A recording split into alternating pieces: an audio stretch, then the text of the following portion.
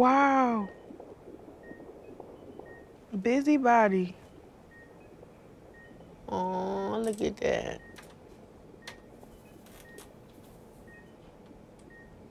It's a boy. Oh my God, I knew it. It's I a knew it. boy. Oh wow. Congratulations. Oh, yeah. What names did you have picked out? Tyson, Tyson. Oh, that's cute. You did a great job, Mom. Thank you, thank you, thank you, thank you. Yeah, I tried. Now it's Dad's turn to shine. This is his, this is his, this is his time. Yeah. This we owe this to him. This is. You know, I think that blessings I can't wait till come. he meet Winston Yeah, me too. and Tyson. Yeah. Blessings always come on time. And I want us to have like this huge coming home party for him. He needs that. You know, he needs to feel that love. Like we never let his hand go, even though all the distance. I'm sure that'll make him happy. Hopefully we don't have to wait too much longer to find out. Just pray. Nothing like praying.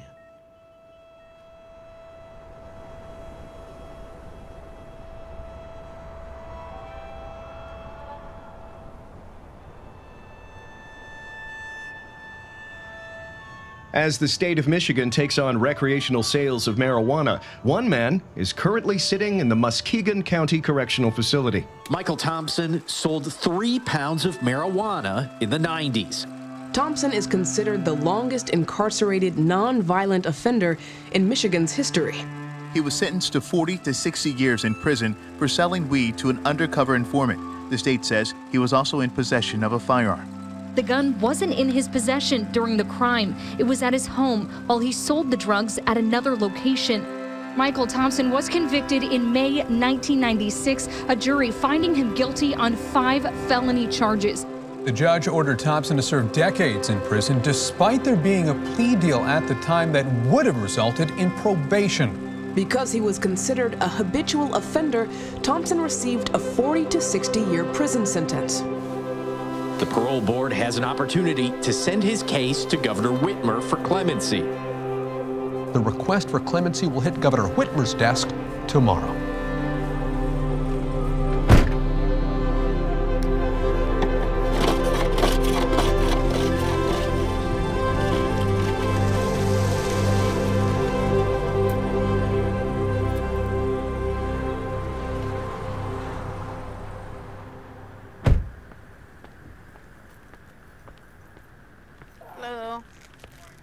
Morning. Want to do lottery?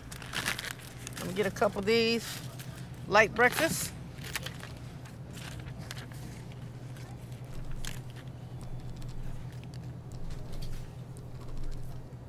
The thing I like about my lottery is being able to wait for it to come out and hope it's your number.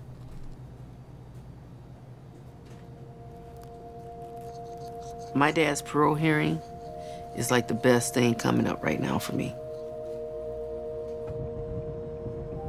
He was such a good man, even when he went to prison for selling drugs and came home. General Motors offered him a job back again, and he got his job back.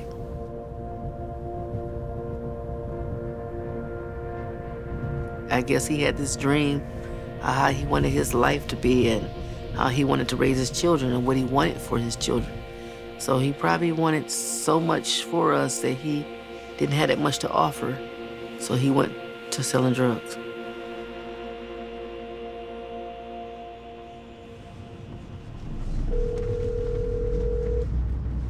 Hey, Kim, how are you? Hey, good. Do you have a minute? Sure. hmm I wanted to touch base with you. I asked you last week to follow up with the parole board for Michael Thompson. Yeah. What's going on with that? Well, I haven't gotten any response, at least nothing that indicates something solid. I sent them another email indicating that it had been three weeks since they had responded. In parole boards in other states, people answer the phone. You can talk to members of the board. You can talk to their secretaries. It's just bizarre to me that no one's responsive to us. Yeah. I'm gonna try and schedule a call with Michael. I was just hoping we had something to give him, but sounds like I like know, I not. wish. I wish. No, give him my best. I'm really, uh, we'll keep pushing. Okay, thanks, Katerina. Sure. Take care. Talk to you soon. Bye. Bye bye.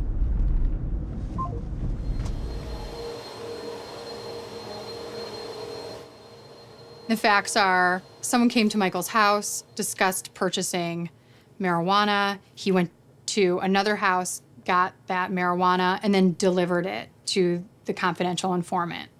And they used the marijuana sale to search his house for the guns. At no point was a gun referenced, utilized, brandished, spoken about without the guns. It still would have been an offensively high sentence for marijuana, but he would have been maxed at 15 years instead of a life sentence.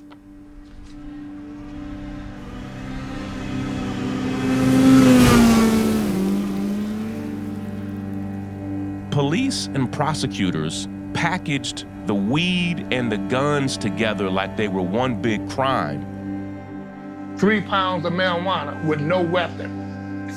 You see how it doesn't make sense when we go to talk about the guns? The guns have nothing to do with the drugs. His record is not very substantial in the first place, and uh, to see this kind of sentence, I can't imagine what was going through the judge's mind. I don't even think people would get sent to prison at all for those types of crimes today.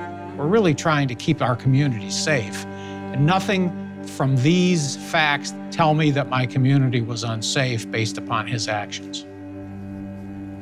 When you look at the whole of Michael as a person, his convictions are an outlier for the things he's contributed. Prior to these convictions, Michael was given the key to the city. He won awards through the NAACP. He led a gang walk. He's not a drug dealer who's turned himself around. He's uh, a community organizer who fell into some drug trafficking.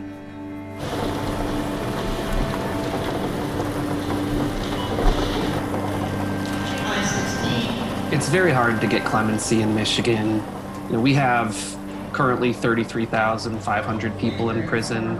The, the chances of any one of those people getting their sentence commuted is, is vanishingly small. Makes me mad as hell.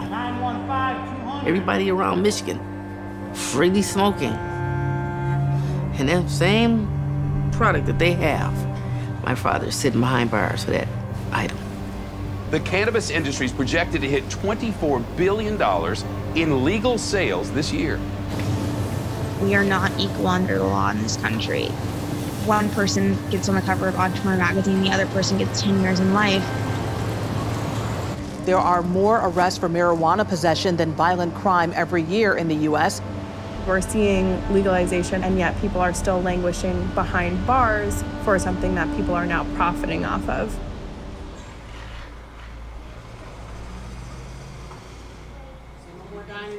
I heard Jesse kind of want that. Manufacturing is uh.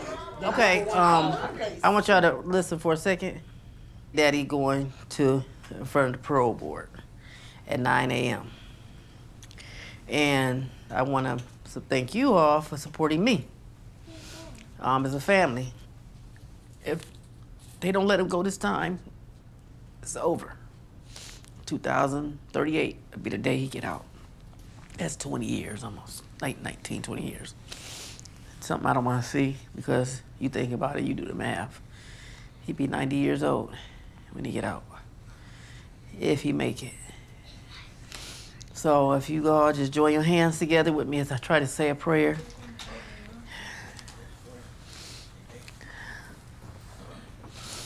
Oh, Hold right here. Okay.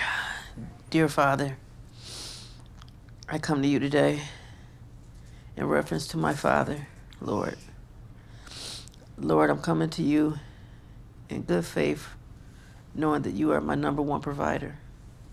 Lord, my father is on the way to a parole hearing, and I just need you to heal the hearts and touch the hearts of those that he would come in front of. Lord, I thank you for all that you've done for me and my children, my parents.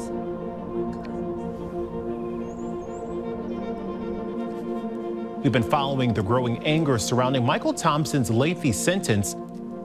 That man is asking the governor for clemency, something that was denied by the previous governor.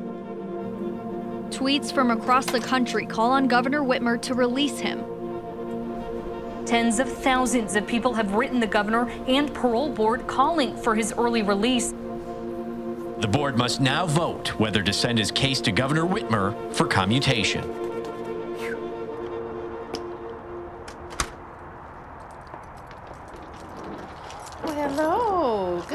Good morning. How are you? Great. How are you? I'm fine. Nice to see you this morning. Happy birthday Oh, to this you. is so nice. Happy birthday to you. Happy birthday, dear Kim. Happy birthday to you. May the you. good Lord bless you. May the good Lord bless you. May the good Lord bless you. May the good Lord bless you. That's very nice. Thank you. Tim, do you have a, a number of how many people are speaking?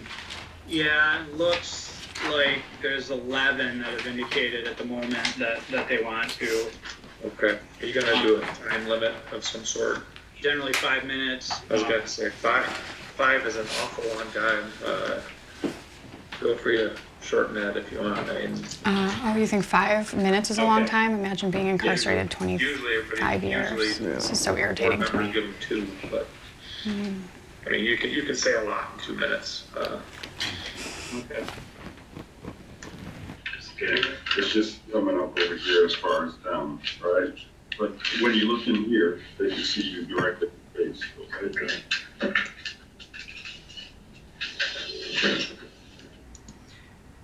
All right, Mr. Thompson, now I'll give you an opportunity to make an opening statement if you'd like to.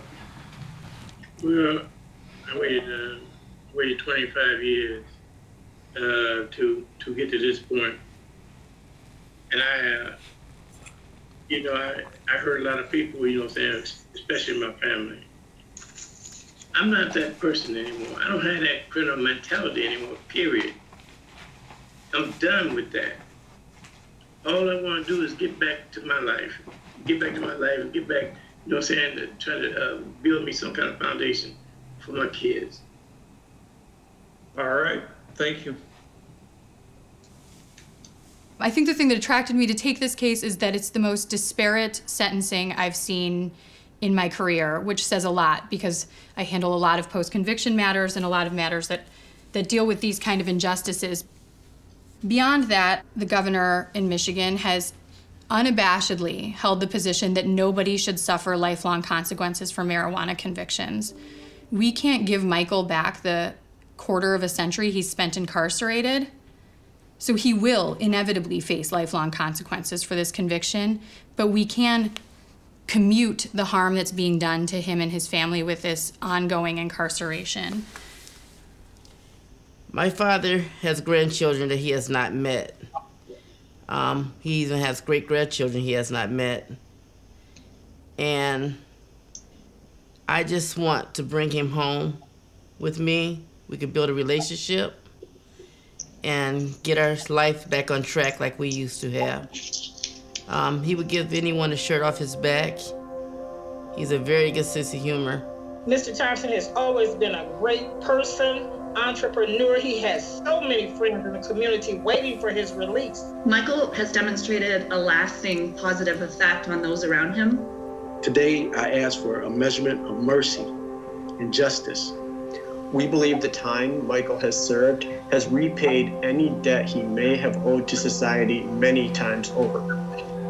Uh, I am 25 years old, so this sentence that he has served is literally inconceivable to me. It is a lifetime.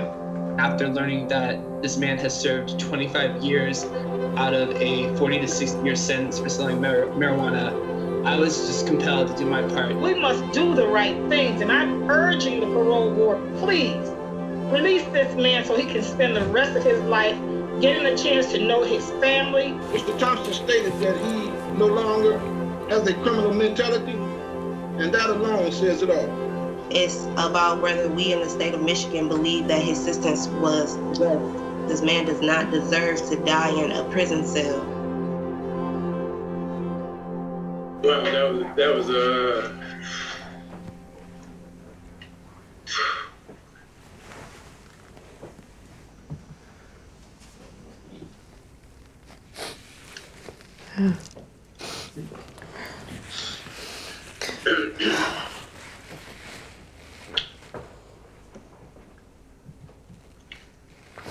I'm thankful to everybody.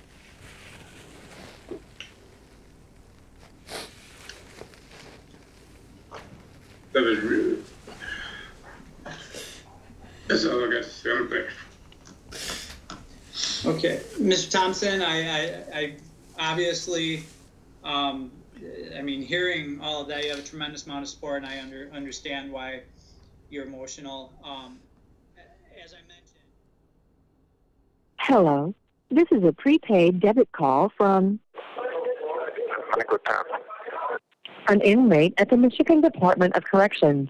To accept this call, press 0. To refuse this call, Hey, what's up, man? Uh, how mu- what do you think we got? Uh, how many more? How many more interviews ahead of me?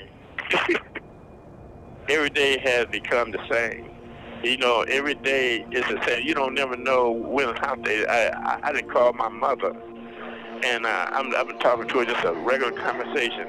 And my mother said, "Happy oh I forgot late happy birthday. Your birthday was yesterday." And I had to think about it. I said, "Oh, oh, oh yeah, it was my birthday." Happy birthday to you. I love you, Daddy. I love you too, baby. And I know you're going to be out soon. This call is from a correction facility and is subject to monitoring and recording. I just want to stay strong. So no matter what they do to me, I said they can't do no more to me, no more to me than they already done.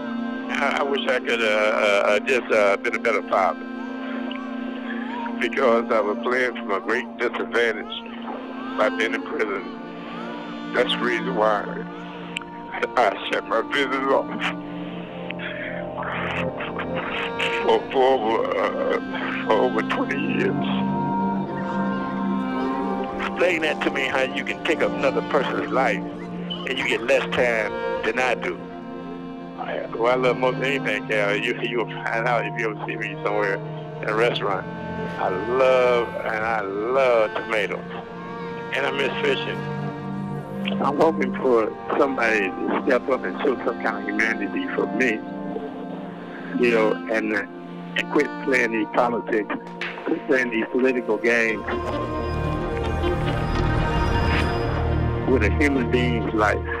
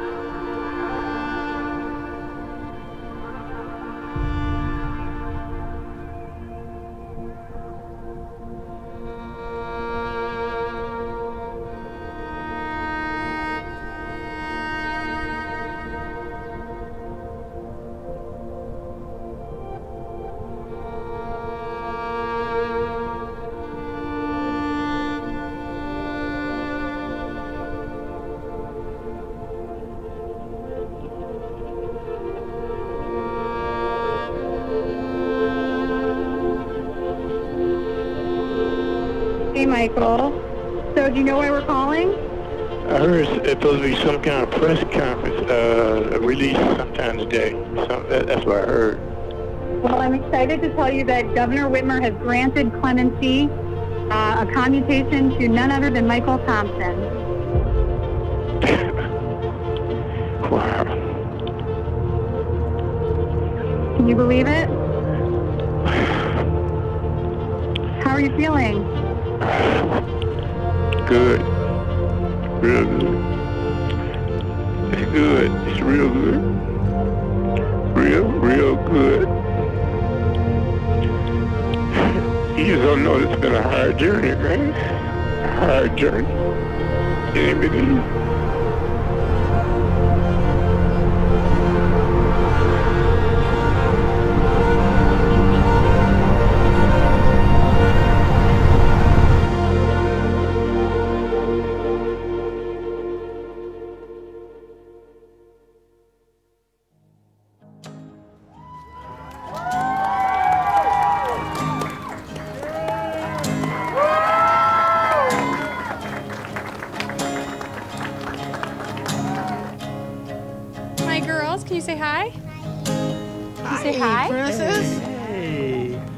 I'm gonna say welcome home and give him a big hug. That's Sierra. That's my daughter. Everybody look like, you know what I'm saying? Been traveling these wide roads for so long. My heart's been far from you, 10,000 miles gone. Once we strip away this artifice of thinking that the drug war is about actually helping people, we can see more clearly how unjust it is. if you were to not just look at what is the exact charge someone is incarcerated on, but how did they sort of enter this revolving door, you'll find that it had something to do with weed. It is a gateway. It is a gateway to mass incarceration, and that's how we should be talking about uh, weed being a gateway drug. Across this country, people are voting to strike down these laws against marijuana. Legalization will give us some financial tools that we can use through taxation and investment to try to repair some of the harms of both, you know, long-standing racial injustices and the specific negative impacts of the war on drugs.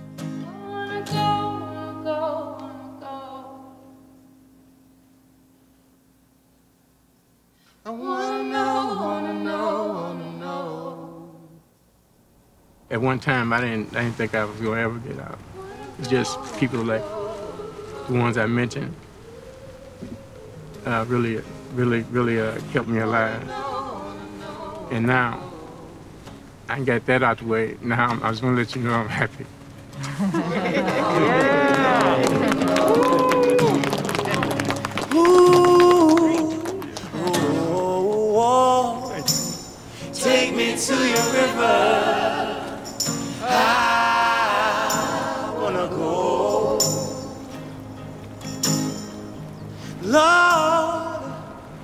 please let me know. Take me to your river.